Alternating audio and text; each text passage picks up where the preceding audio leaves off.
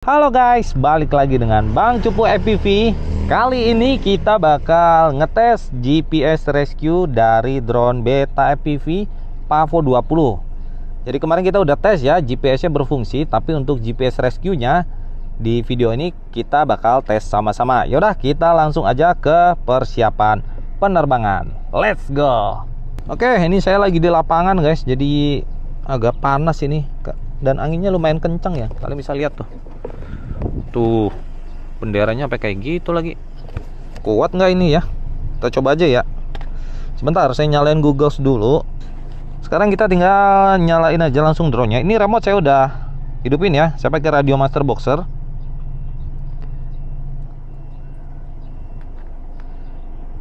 Kemarin kita udah sama-sama buat lock satelitnya udah cepet guys. Udah canggih ya.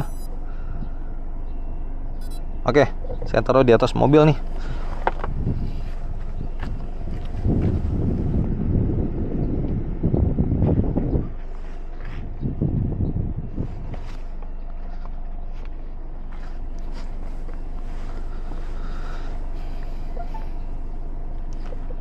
Sebentar, saya cek dulu. Satelitnya belum dapat nih guys. Kurang lebih untuk lock satelitnya butuh satu menit sih, biasanya ya. Dan untuk GPS rescue-nya saya set di 30 meteran udah bisa ya. Untuk Pavo 20 ini dia udah beta flat 44. Terus untuk ESC-nya juga dia udah Blue J ya, udah default dari pabrikannya. Jadi ketika saya beli drone ini saya cuman bind aja, nggak nggak ngerubah-rubah. Oke udah dapat 4 ini satelitnya guys, cepet banget. Di daerah ini emang agak cepat saya kalau cari satelit. Udah dapat 6, udah lock 7. Satu lagi deh. 8 biar enak ya. Oke, udah 8. Nice, kita langsung aja ya. Arming. Sebentar.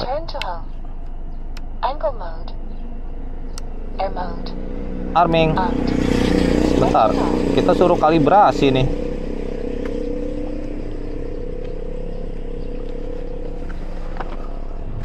Posisi drone-nya salah apa ya?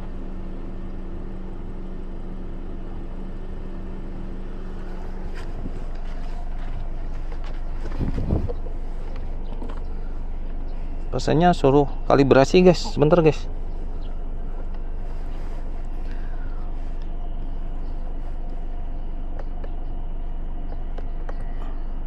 Oke.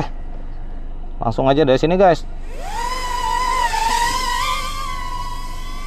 Core-nya udah 70 derajat. Tadi dia ada kayak pesan calibrate gitu, guys. Nggak tahu calibrate apa ya.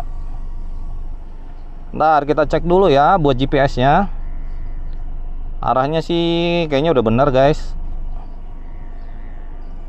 Oh ya, arahnya udah benar. Tadi saya taruh di atas mobil tapi tiba-tiba nggak bisa, guys. Oke kita coba ya Kita nggak jauh-jauh nih buat ngetesnya. Kita coba sekitar 30 meteran. Dan nggak usah tinggi-tinggi ya. Saya agak ngeri guys. Terus terang ini saya ngeri guys. Karena ini drone-nya drone kecil sih. Kita pasti 50 deh ya. Kita coba nih. Moga-moga aman guys. Oke. Minutes. Dia naik. Oke. dia berhasil balik tapi nggak tahu kenapa ya. Kenapa dia ketinggiannya turun tadi ya. Jadi saya override guys. Dia berhasil balik sih. Mungkin karena anginnya juga kenceng ini. Aduh. Jadi jadi saya nggak berani guys. Tuh tuh tuh tuh. Anginnya kalian bisa lihat ya. Benderanya apa kayak gitu nih. Tadi kayaknya dia kedorong angin sih. Tapi kalau arah baliknya sih udah bener guys. Sebentar ya, kita tunggu dulu anginnya agak reda nih. Kita muter-muter dulu deh. Wah ini ngelawan angin. Jadi waktu pas dia balik arah, dia kayak ketiup angin jadi kedorong guys.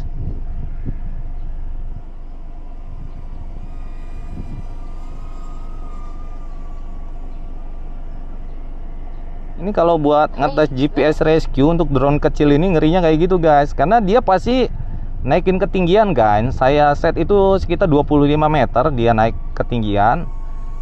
Tapi ketika dia naik ke ketinggian segitu kan pasti anginnya kencang jadi langsung kedorong kita coba lagi ya. Tapi saya bakal off ride kalau misalnya kira-kira kenapa-kenapa ya. Sini oke. Okay. tes return to home. Dia naik ke atas oke. Bisa guys. Saya off ride ya. Oke dia balik guys. Balik balik balik. Dia balik.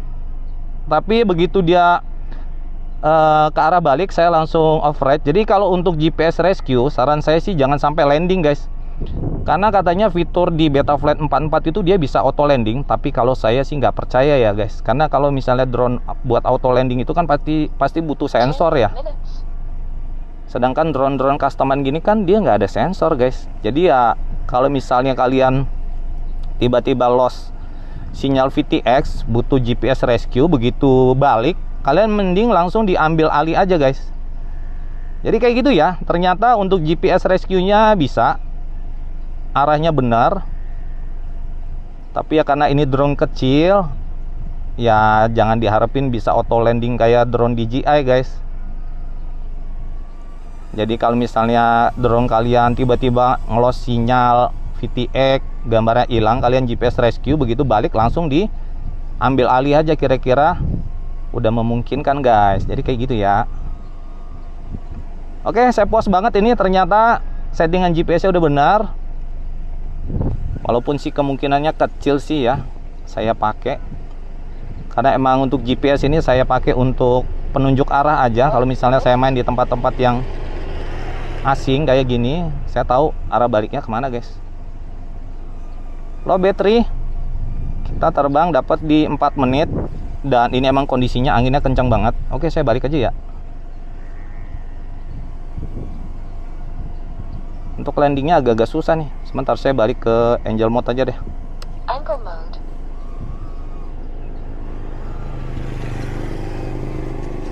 Wah, angel mode malah susah ngelawan angin ternyata.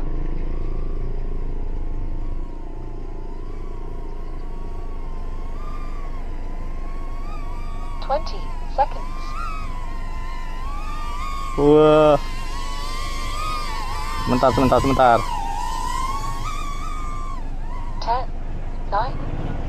Saya landing di mana nih ya? Ah, saya geser dulu, elapsed. Anginnya kenceng banget. Ini terus terang saya nggak biasa pakai angel mode nih. Aduh, ini arah anginnya ke sini lagi.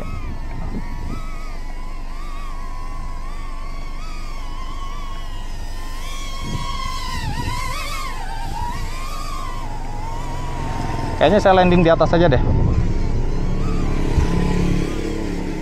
Di bawah aja, guys. Aduh. Kotor nih. Anginnya kenceng banget. Salah saya nggak bawa landing pad, harusnya bawa landing pad, guys. Tapi lumayan oke lah ya. Saya cabut dulu nih karena udah panas dan baterainya udah mau habis. Agak kacau guys ngetes penerbangan kali ini karena anginnya kenceng. Saya salah nih. Tadi posisi anginnya tuh kalian bisa lihat ya bendera. Jadi posisi anginnya itu ngarah ke tempat saya. Jadi kalau mau masuk ke landing ke mobil jadi agak susah. Oke. Untuk baterai pertama kita udah udah habis. GPS rescue-nya juga sukses. Dan mungkin sampai di sini aja deh guys video kali ini. Kayaknya emang nggak memungkinkan nih buat kita nerbangin lagi. Anginnya parah.